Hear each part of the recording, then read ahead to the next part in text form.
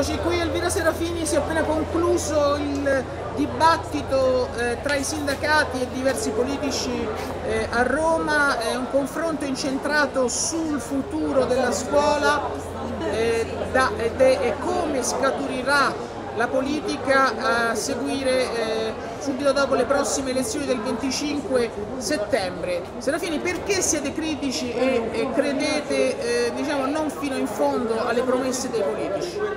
L'abbiamo detto a gran voce che le promesse sono tante, i progetti e i programmi che ci hanno presentato sono tutte belle parole, ma abbiamo chiesto dove prendono i fondi e questa risposta non ci è stata data. Di conseguenza le aspettative ci sono, noi aspettiamo delle risposte concrete, ma ci sono tanti dubbi che veramente dal 26 di settembre i nostri problemi così gravi, una scuola che è in sofferenza a 360 gradi perché manca il personale ATA, mancano i docenti, mancano i dirigenti, il precariato è stato del tutto dimenticato in questi anni, ecco che ora speriamo che ci possano essere delle risposte positive e che veramente la scuola venga messa al centro delle politiche del futuro. Aspettiamo le risposte dal 25 settembre in poi. Quali sono le tre urgenze da affrontare prima di subito?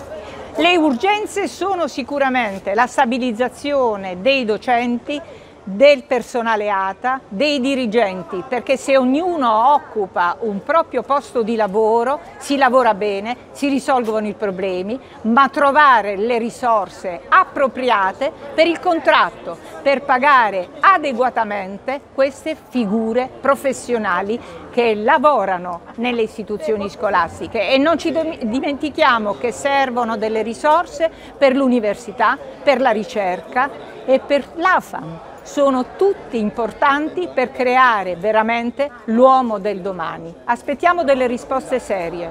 Bene, grazie Elvira Senafini. Snaz. Grazie.